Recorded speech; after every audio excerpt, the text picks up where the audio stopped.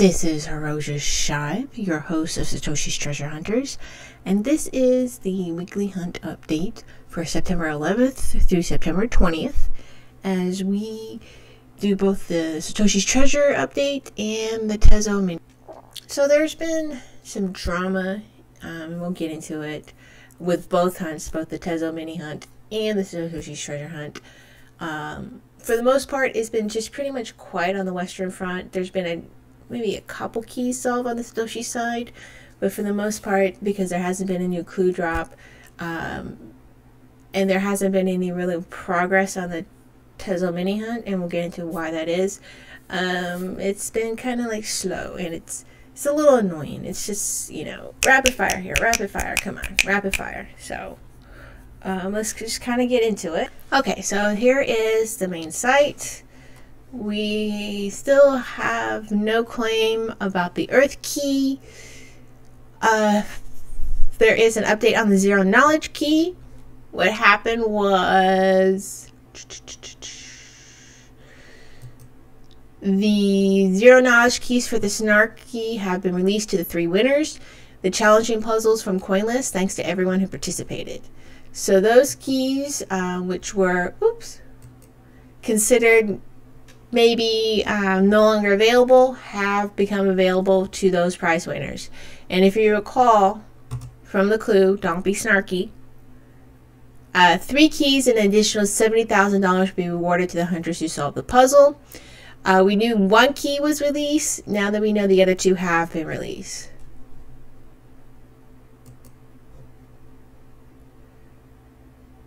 Okay. And then let's see, the checkerboard key. Again, unsure of the uh, private clan claimed that they solved the checkerboard key and possibly the earth key. But again, they don't have to demonstrate proof. But since the the game makers have switched from available to expired, we have no idea if this this these clues have been found or not unless it's been publicly disclosed. Okay, so the United key, no one's publicly disclosed that they found that.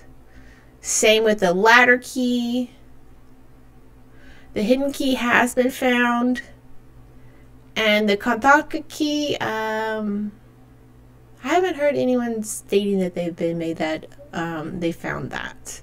So there's the Katana key, one the ladder key two, the united key three, possibly the fourth key, uh, checker key is uh, out there, and the earth key. Now, um, the hackathon key, which is the uh, Cheeze Wizard key, that has ended. They have submissions available uh, I'm sure pretty soon we'll find out uh, who has uh, earned that key. But as of now, um, it was August 1st to September 15th, so that has ended. We'll see who uh, is going to win the prize. Looks like this right here, the cheese dial, uh, might be the winner, but again, um, that's being determined by the game makers. Okay, so the Tezo found the Tezo mini hunt. Um, again, it's 14 key splits are required to reassemble the Tezo's wallet with 5000 XTZ, which is trading at a dollar a little bit more USD. The first 10 can be found at and around the following GPS coordinates. Uh, I talked about that when the mini hunt, where those GPS coordinates are. Um, let's click on this and go to the paste because this is important. This is part of the kind of the drama going on with the hunt.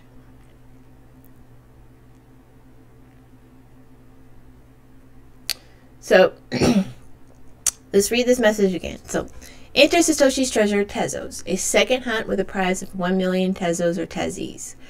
This full-scale hunt is currently under development and will provide an innovative new type of game, another world's first global multiplayer hunt based on a system of incentive smart contracts. However, smart contracts can be one of the most potent foot guns known to man.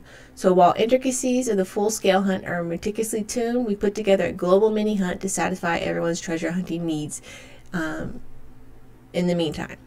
The 14 key splits are required to resemble the Tezos wallets with 5,000 XTZs in it. The first 10 can be found at or around the following GPS coordinates. As usual, you won't need to go anywhere dangerous to find the keys. They're mostly hidden in plain sight, so to speak. Uh, for the remaining splits, watch the space or space itself, which is the um, Blockstream satellite. So the thing that's missing here that was not part of the message is going to the Satoshi's Treasure website. And that caused some problems. And the reason why it caused problems is that um, the GPS stickers. Okay, well, we'll get into stickers for a moment. Uh, the other four keys uh, were given to people and this is the thing we talked about this during the mini hunt. They haven't been disclosed publicly, so there's been a wait on these four keys for being released. Don't know if there's a particular day they're going to do it all at once or what's going on with it, but that's why that this particular hunt hasn't been solved yet. Uh, people have been pretty much been able to go to these GPS locations and obtain the particular keys, but the issue has been okay. So the issue was with the stickers in the in the Tezo hunt is that the the people that joined the hunt that weren't already part of the Satoshi's treasure hunt didn't know the rules. And because they weren't guided to the website and they didn't know the rules, some people started taking the stickers off. And this is understandable because at these locations that these GPS locations were, uh, there were multiple stickers at the same location. So if I was new to the game, I knew this was a hunt for money and there's multiple stickers. I personally would assume, oh, since I'm the first person here, to take the sticker down. Not to leave it up for the next hunter to follow behind me and try to scan and, you know, they're just behind me in the race or whatever. Um, but that wasn't the case. And so a lot of these GPS locations, these stickers were getting taken down. And it caused some drama in the, uh, both of the, the Toshi's, uh, uh, the Tezos mini hunt telegram as well as the Satoshi site about this because one, they weren't guided to, uh, as you can see from the message, to the website to get the roles. Like they can't even know if they're even able to participate because of the nature of smart contracts and um, tokens and things of that nature. If there are any affiliations with uh, Tezos or things like that. So they don't know the rules. Um, some people are like, oh, it's kind of obvious that you're not supposed to pull the stickers down. But it would be obvious to me. If there were multiple stickers, I would be thinking like it's a flyer, like you see for job hunts or uh, those really small businesses that do like cleanups and or dog walking or something like that or babysitter where you take the little phone number the little tab and pull it uh, instead of just you know maybe taking a picture or you know back in the day writing the number down so someone else behind you know can come behind you and get and get the information from the ad i would think that you're just supposed to take take the sticker and you just happen to be the first person there um, but that wasn't the case, and so it caused a bit of drama. These stickers were put back by once the um, people knew that the rules were you weren't supposed to take stickers, they put it back. But again, this caused this caused a communication issue, and this is on the part of the game makers. They didn't guide them to the website so they know the rules, not take the stickers down, and for people to get upset or call foul, foul play. Um, so you can always go to the um, Satoshi's Treasure Telegram and you can follow. Um, the posts are still there, they're not deleted. Uh, and follow the drama for yourself. Uh, there were some personal interactions I'm, I'm not going to get into that aspect of it, but I think the key component coming back is again the game makers have a significant huge communication issue and i don't know why this point in we're almost six months into the game of satoshi's treasure uh, the first couple weeks of the Tezo mini hunt and the future second hunt that they have not resolved this. They don't have a communication director everyone's on the same board. This is this should be the full time job of somebody, of a couple somebodies, where this is the only thing they're doing. They're doing the communications and the layouts of this game. They're not going to conferences. They're not going to raise funds. This is it. They run the game and they're giving the ball and they're calling the plays, you know, calling the audibles. They have a play, playbook and they're going step by step by step. And it, it just seems a little haphazard and very techy where you just throw throw things in the, the pot, throw the spaghetti against the wall to see if it works, you know, if it's done or not. And that stuff that's annoying, that stuff that's not flying anymore. People are getting like there's templates, there's ways to go about this. Some of them are old school business ways, some are new business ways, some are kind of a mix of both. But there are ways to be conducting these games, conducting business, and you're not kind of doing it. Uh, for example, again, this right here, the disclosure by one of the individuals having received the key, like within the first couple days of, you know, you know, getting it, that they weren't actually supposed to disclose it. You know, uh, maybe that should have been in the message saying, hey, this is part of the game. You're one of our investors. Uh, please don't disclose it into X amount of days. It's very important for the purpose of this game. Just very clear, maybe like an email beforehand, a phone call before the package gets there. You, you track the packages. Packages have had tracking numbers for decades now. Uh, you know, you get the alert when it gets there. You contact, email the person, contact the person, reiterate, and emphasize. Um, so there's that. Um, what else? Okay, so we're talking with New So there's been issues about these business cards here. So the business cards are a hidden key along with the art tour key, which I, I don't think the art tour key is going to get solved. But the business card keys are anywhere from 13 to 15 cards that people that are part of the game, the game makers have, in which you meet them either at conferences or designated locations. They give you this card and you'll um, basically assemble all the rest of the 15 cards and you'll be able to unlock that particular key. And it's called the business card key. Now, some people were promised very early in the game by because they messaged the game makers and had communications and were supposed to get these cards. Now, there's been a couple people that were sent these cards but didn't receive it because something happened in the mail. But now they're going to get these cards and it's going to be sent to them and there's going to be tracking numbers and things of that nature.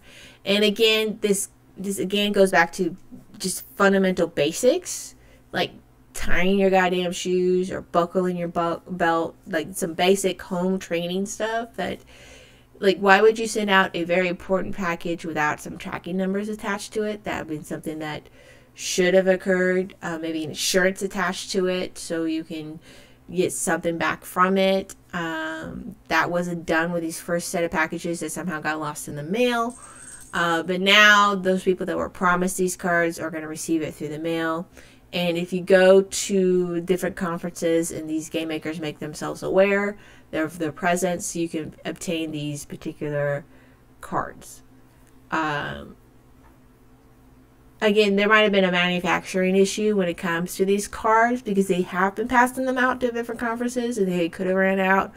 I personally think with a game that they were trying to do with the price level, I would think they would have these enough of these cars made pre-made beforehand just kind of go overrun and see it's better to have something and not use it and then to have a need for it and be without.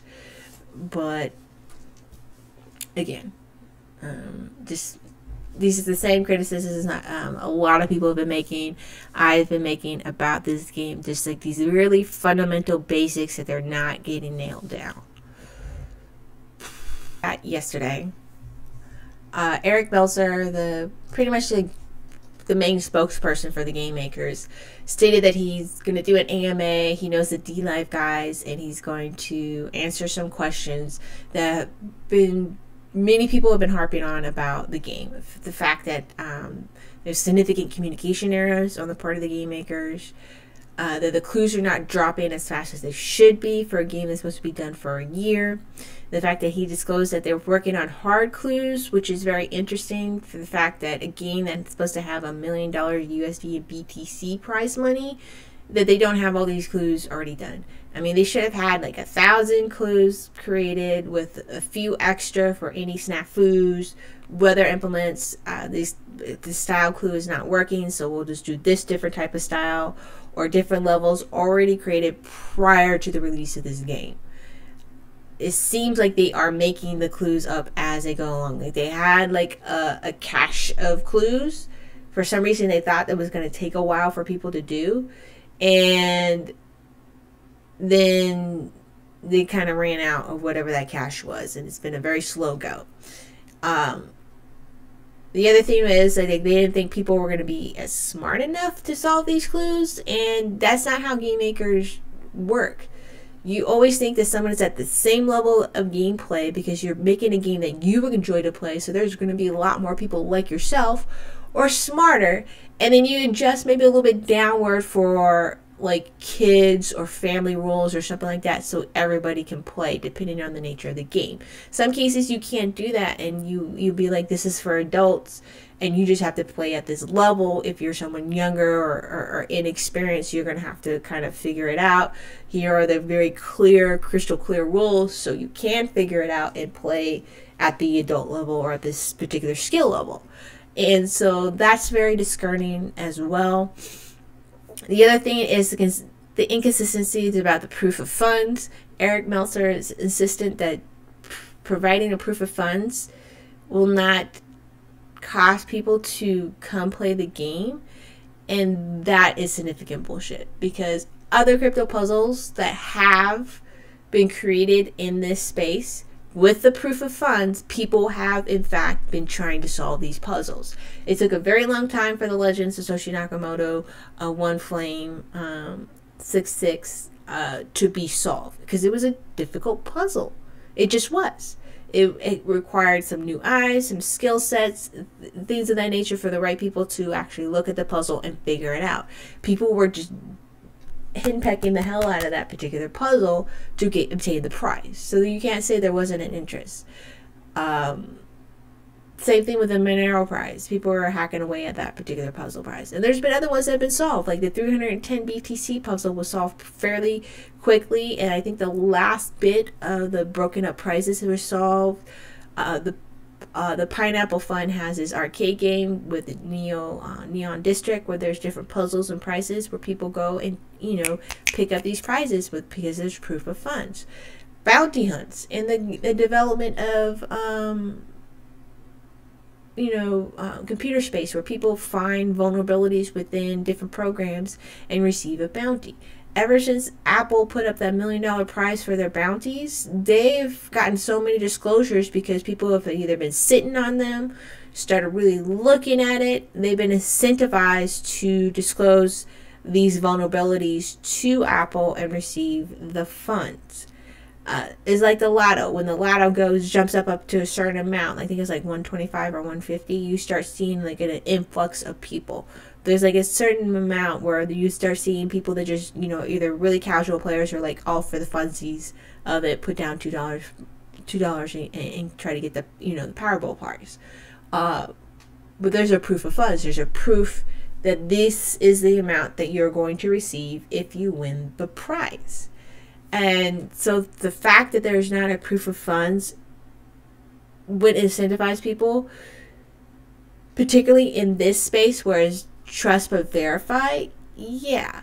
They should sign a message, send it out. This is the public address. This is us signing the our cryptographic key here that we control this particular Bitcoin address, and if you win the bounty, you get this particular address.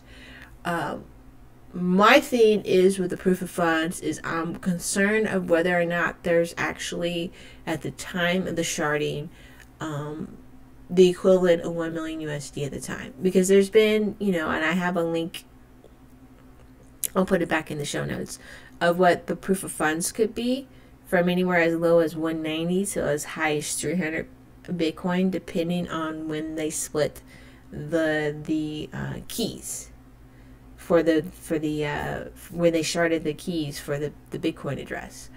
Uh, they could have tokenized it where they can just put like one Bitcoin and tokenize it and be like, okay, you solved the game and you've got access to this address you're moving the funds we see that you, we can message each other and now you you're going to receive your at the designated address the the equivalent at whenever the game is solved of million USD which would be less bitcoin than that of what many people perceive or believe to be from the nature of the game of the sharding of what uh, the Bitcoin address could be.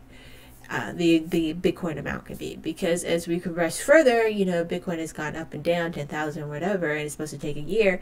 Even if it stays around ten thousand um, Bitcoin, that price, that's the stability. Let's see. Um,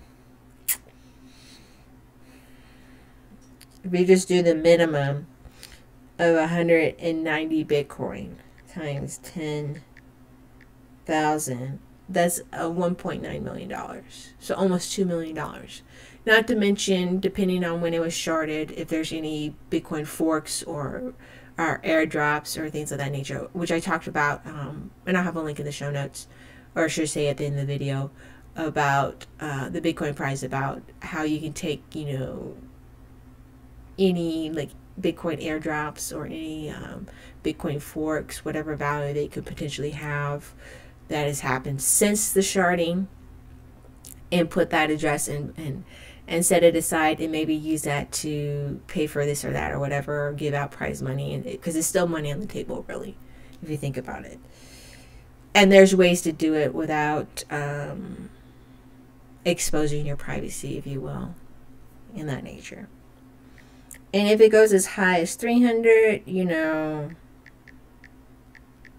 that's you know that's three million dollars just triple of what you know the game started out. And that so that's significant. That's very significant. It, it needs to be clear and made. And it shouldn't take months. This is not a very difficult thing to do. Signing a bitcoin address is something very basic there's so many tutorials on how to do it, how to sign your Bitcoin address so people know that you have ownership or proof of funds of a particular address for whatever cause it may be, be for like a business purpose, a personal purpose, a prize purpose for this case, or in previous cases.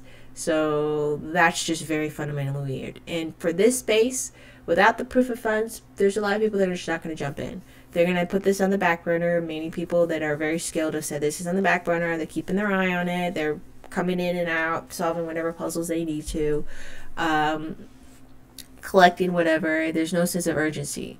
But the moment those proof of funds are put up and it's like 190 Bitcoin or between that 190 300 Bitcoin, you're going to see a lot of um, activity. You're going to see a lot more of those private clans that have been silent running deep be a little bit more active, maybe a little bit more vocal, maybe start recruiting people. You might see some Twitter spear stuff. And you're going to start seeing more clans form. I think you're going to see some better, more skilled clans with very hardcore developers and stuff like that. And it'll be an interesting dynamic change and shift of the game. Um, and then you're going to see a key market, I think, form with the expired keys for any new clans that are forming that don't have uh, any of these keys that have been expired, you can start seeing people selling it for whatever price.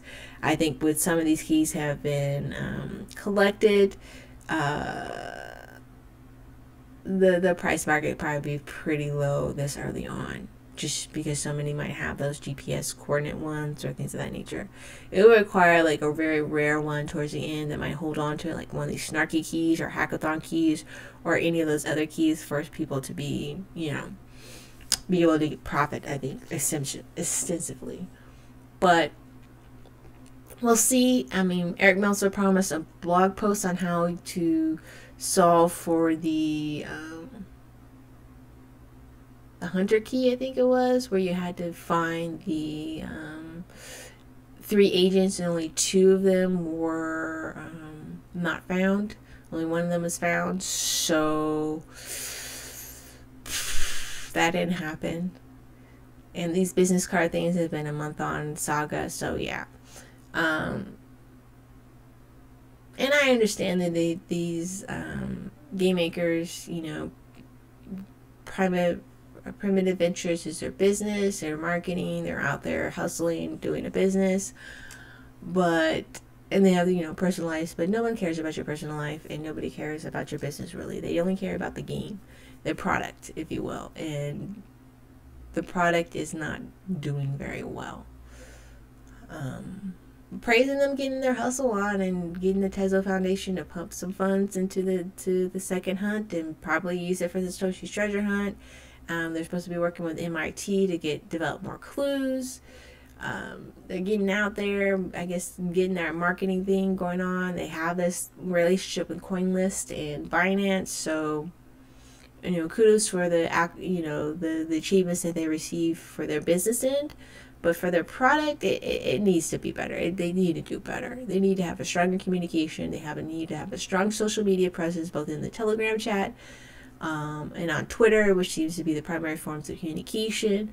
Um, maybe a blog post to, you know, update, you know, the clarity of the game, anything of that nature to make the communication better and get and get these damn clues out. Drop ten at a time it's fine if you drop 10 at a time.